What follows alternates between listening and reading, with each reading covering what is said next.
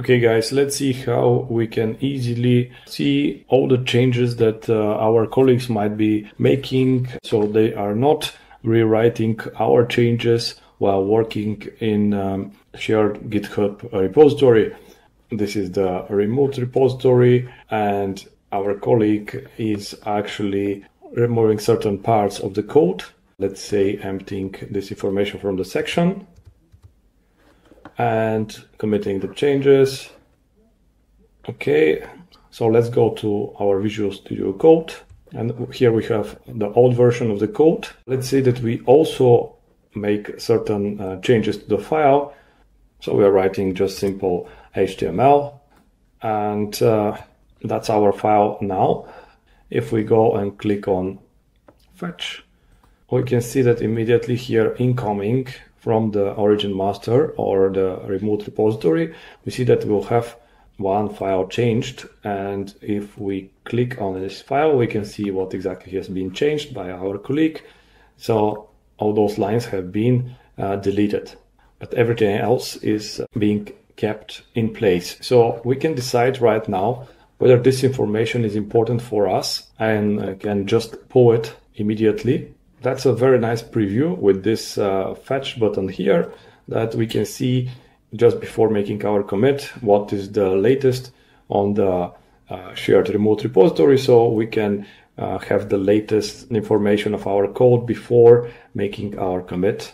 For this case, we decide to pull the information and we'll see that uh, we'll have an errors and that's because we have certain lines that will be overwritten by this change. They're advising us to commit the changes, stash them, or just revert them uh, before making this merge, before grabbing the information from the origin master.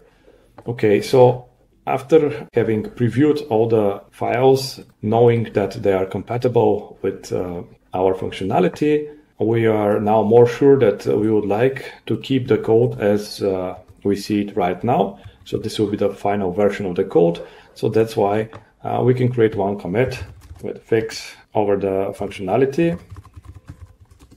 And we create this commit right now.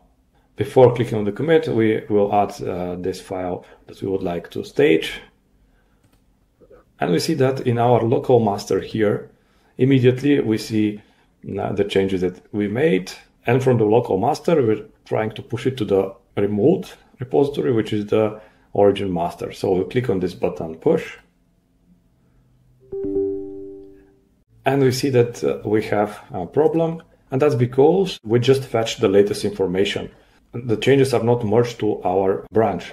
So what can we do now is to click on the pull from the master branch and this will create, of course, a merge conflict.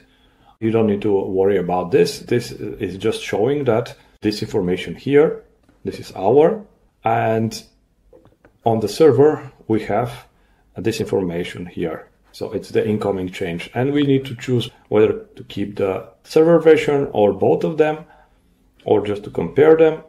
And uh, we also have a choice to do so in uh, merge editor. So we click on this merge editor and we see what's going on again on the server. As you can see, everything is deleted by our colleague. Here is our version.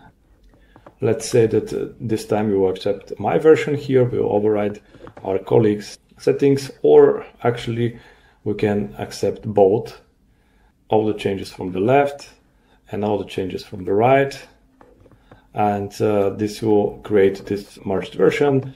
Let's say that some of the things we don't need right now, so we can even edit in place here what we want to keep uh, from the incoming changes. And when we are happy, we can click on complete merge. So the merge is done and now we need to create a commit and to push it. So we create the commit with this merge and that's uh, after our uh, fix. So this was the first information that we tried to push so far, not successfully. And this is the final version of the start.js file, incorporated both the server version and our.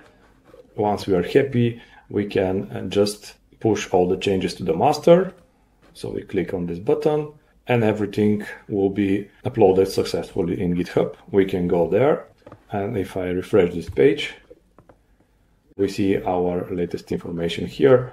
That's very convenient because actually we can collaborate with other colleagues on the same uh, code. Of course, having the opportunity to review the code before pushing or pulling uh, just on blind. Alright guys, thank you for watching this tutorial. If you enjoyed it, you can subscribe to the channel.